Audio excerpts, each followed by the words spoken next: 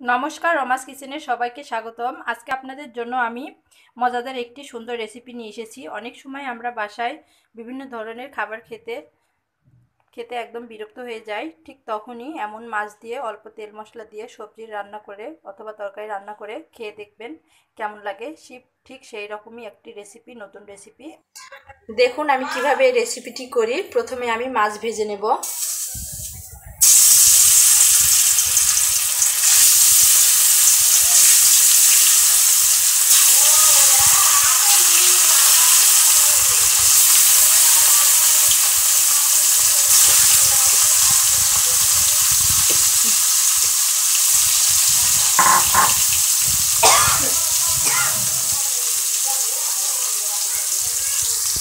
অনেক সময় আমরা তেল মশলা খাবার খাই, খেতে খেতে অস্বস্তি আছে ঠিক তখনই এরকম রেসিপি আপনারা ট্রাই করবেন বাসায় একদম কম তেল ছাল দিয়ে। তো প্রথমে আমি একটু বেশি তেল দিয়ে মাছটা ভেজে নেব। সাধারণত মাছ একটু তেল দিয়ে না ভাজলে ভালো লাগে না।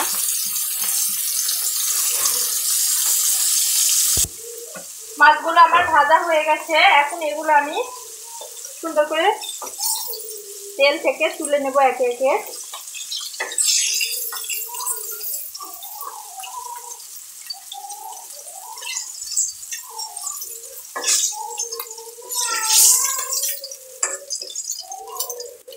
এবং যে অবশিষ্ট তেল থাকবে মাছ ভাজার পর, তার মধ্যে আমি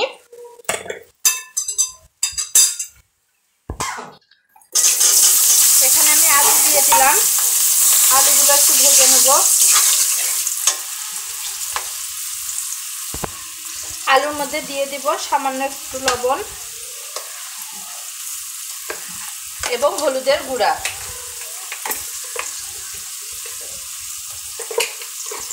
দিয়ে একটু আলু সুন্দর করে ভেজে নেব। বেশিরভাগ সময় আমরা আলুর খোসা ছাড়িয়ে রান্না করি, কিন্তু আজকে আমি খোসাগুলো ছাড়াইনি, এভাবেই রেখেছি। এভাবেও রান্না করলে সুন্দর লাগে খেতে। আলু ভাজা হয়ে গেছে, এগুলো আমি তুলে নেব।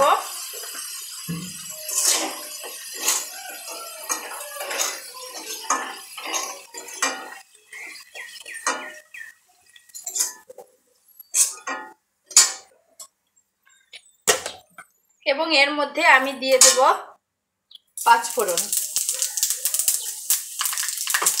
দিয়ে দেব কাঁচামরিচ আমি এখানে পাঁচ ছটার মতো কাঁচা মরিচ চিড়ে নিয়েছি, সেগুলো দিয়ে দিয়েছি।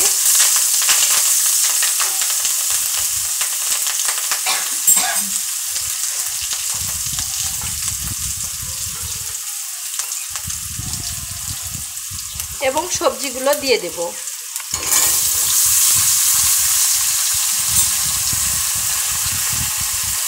এর মধ্যে আমি নিয়েছি পটল, বেগুন এবং ছোট বই বই কচু। এগুলো আমি সুন্দর করে একটু ভেজে নেব।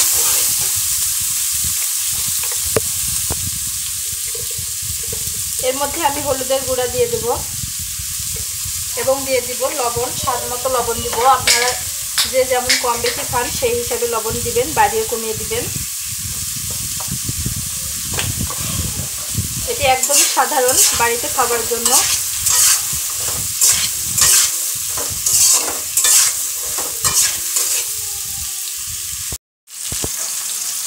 আমি সবজিগুলো সুন্দর করে ভেজেছি।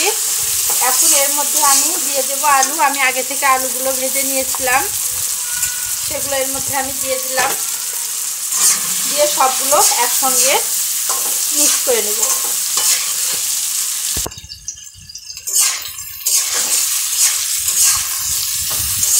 সবগুলো সবজি ভাজা হয়ে গেছে। এখন এর মধ্যে আমি দিয়ে দিব আদা জিরে বাটা।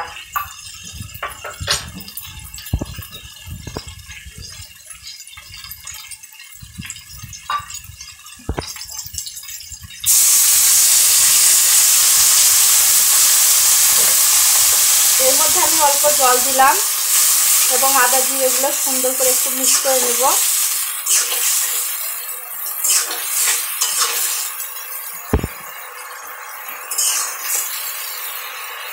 এবং দিয়ে দিব মরিচের গুঁড়া। আমি এখানে এক চামচ মরিচের গুঁড়া দিয়ে দিচ্ছি এবং দিয়ে দিচ্ছি সামান্য একটু হলুদের গুঁড়া। যেহেতু কাঁচামরিচ দেওয়া আছে, সেজন্য একটু মরিচ ভেবে চিনতে দিবেন। আপনারা যদি চান যে, না, মরিচ, শুকনো মরিচ দিব না তবু সমস্যা নেই। আমি এখানে দিয়েছি শুকনো মরিচের গুঁড়া একটু।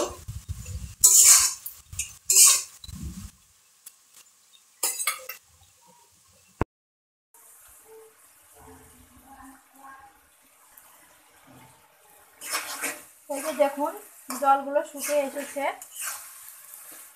আমি এই সময় আর দু এক মিনিটের মতো একটু ভেজে নেব।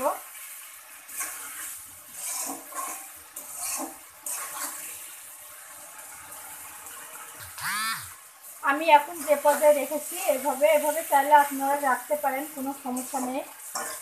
সবজি হিসাবে খেতে পারবেন। রুটি দিয়ে। তো আমি এর মধ্যে এখন ঝোলের পরিমাণে জল দিয়ে দেব।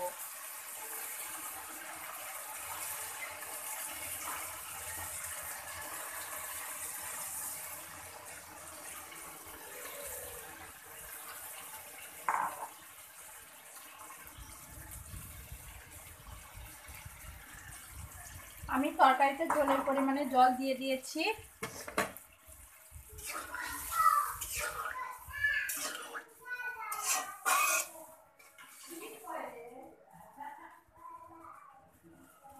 আমি ঢাকনা দিয়ে একটু এক মিনিটের মতো চাপা দিয়ে রেখে দিয়েছি। এক দু মিনিট পর আমি আবার ঢাকনাটি খুলে দেব। এখন এই সময় আমি এর মধ্যে দিয়ে দিব মাছ ভেজে রাখা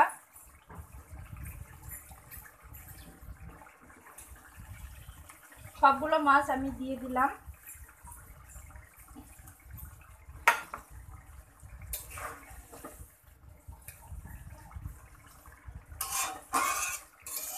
এই রেসিপিটি কিন্তু একদম হেলদি সব সবজি দিয়ে রান্না করতে পারবেন, একসঙ্গে অনেক সবজি খেতে পারবেন। অবশ্যই আপনারা বাসায় রান্নাটি করে দেখবেন, খুব সুন্দর।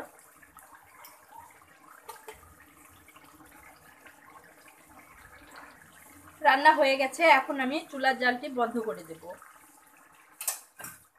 আমি চেক করে নিয়েছি, লবণে ঠিক আছে, আর লবণ কোনো কিছু দিতে হবে না। আপনারা চেক করে নেবেন, নিয়ে লাগলে আর একটু লবণ দিয়ে দিবেন।